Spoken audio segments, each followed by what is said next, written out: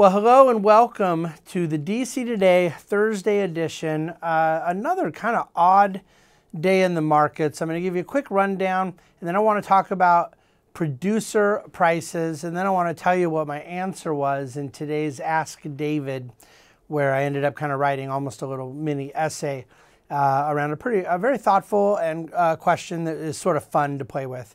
Okay, uh, the Dow was down 222 points, but it had been down 400 at one point, so it came back quite a bit. Um, the Nasdaq was up 18 basis points. The S&P was only down 17 basis points. So it was definitely one of those days where clearly there was something sort of idiosyncratic that was bringing the Dow down, and that didn't even hold. That thing today was a little stock, the happiest place on earth uh, just happened to have um, a big announcement yesterday. It was not good results. It brought the whole index down. And, and so th- those things will happen every now and then. We have one thing kind of stick out and give a disproportionate response. Um, oil closed at 71.50. The 10 year uh, was down another three or four basis points.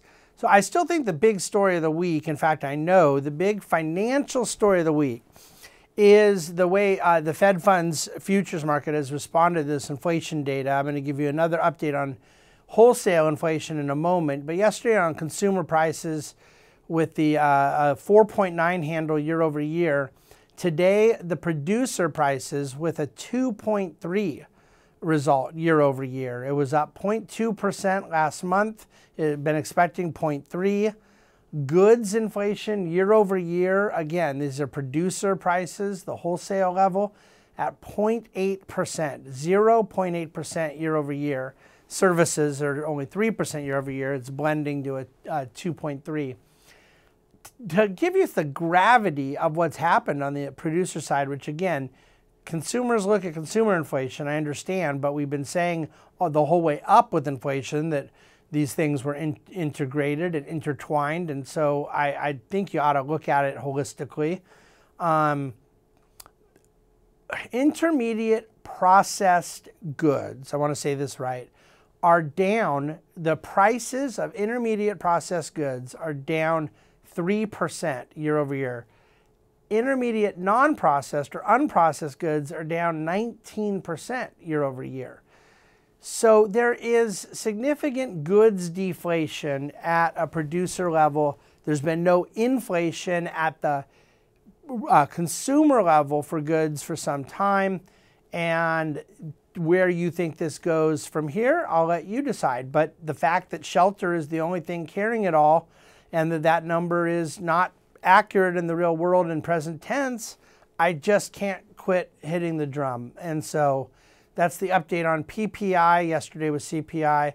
The Fed funds future is now pricing in 100% chance of a rate cut by end of the year, an 80% chance of a rate cut by September, and even July uh, has a significant chance.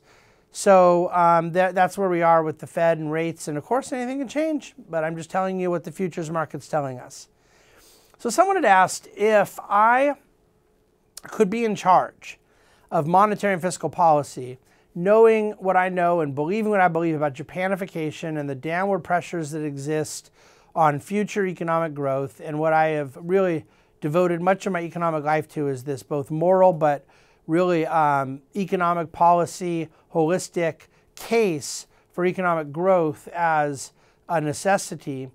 And saying that in a time where people are accepting stagnation as a reality in the face of excessive indebtedness this individual asked me what I would do if I were king for a day, and he threw out a few things he would do. And and you know the caveat is just so important is that what I would do, you know, we don't have a king, we don't have a king for a day. If we did, it wouldn't be me.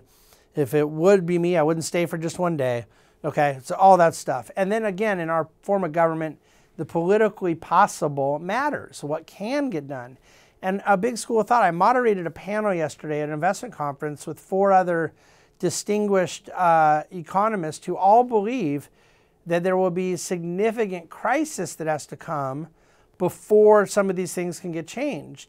And there's a great argument for that. I don't fully subscribe to that view, but I'm, I'm not against it. I just don't believe it has to be that way. But nevertheless, that's their prediction.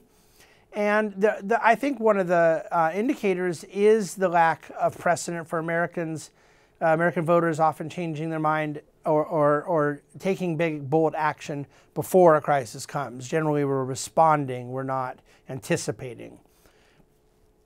Be that, so I get all that.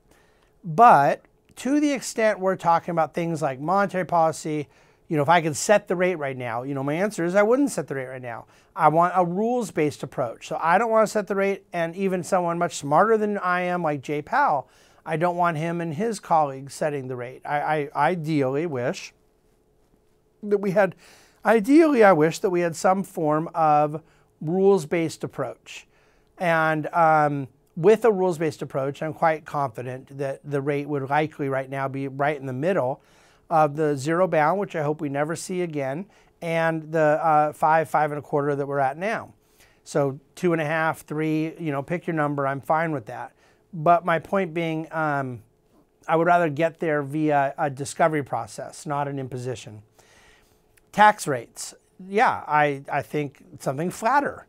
So it's not that I'm talking about higher or lower. It, it, it is not using the tax code as a form of social justice. I think you need an appropriately, uh, you know, by definition, you have progressive tax code when you have progressive income in your country. People earning more should be paying more, and, and I get all that, but the rate at which it's paid, I think, should be flatter. And I think that that has proven to be um, far more stimulative to productivity, which I think is the need of the hour. And, and I think that the spending side is far more important than the tax side. I'd love to set tax rates at a level that will fund the government we choose to have. And I'd like to choose to have a government that's smaller than the one we have for the purpose of better allocating capital.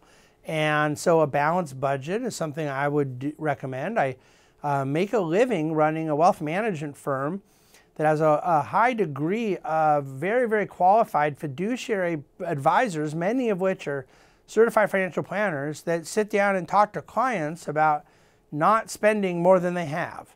And so if I got asked to be king for a day, I would not change my fiduciary duty for the $5 trillion outlays and 330 million people that would become that uh, new client, if you will. Uh, I would not recommend spending more than you have. But obviously, I'm saying this in the context of Fantasyland right now. If I were king, um, a balanced budget would be a great place to start. And ultimately, the long term deal that really starts, I think, to make a bunch of things possible, including signaling to the bond market that we're serious about not falling off a cliff, is entitlement reform. And there's, I'm not going to get into that now, and I know how politically toxic it is, but uh, the notion that we would cut benefits to seniors is ridiculous. I believe in keeping those promises. But in terms of turning the knobs longer term, uh, of course, it's not, I mean, everybody knows it's going to have to happen. The question is when and where and what, how intentional, and how effective we want to be about it. So, entitlement reform, flatter taxes, a balanced budget, uh, high degree of uh, removal of impediments to economic growth from a regulation and tax cost standpoint, energy independence, um, rules based monetary policy. There's a menu in there somewhere for an economic platform that helps to remedy Japanification. What it doesn't do is do it without pain. What it doesn't do is, is all of a sudden clear out the entire credit card balance. You're not clearing that credit card balance out without somebody hurting. I, that's a fact. But there's my long answer. I, I gave a little bonus here today in DC today. I hope it's interesting. Um, maybe I'll expand upon it sometime in a Dividend Cafe, but I thought I'd lay that out because somebody asked. So there you go. Thanks for listening. Uh, we got Dividend Cafe tomorrow. Thanks for watching. Thanks for reading. Have a wonderful Thursday evening. Go Lakers.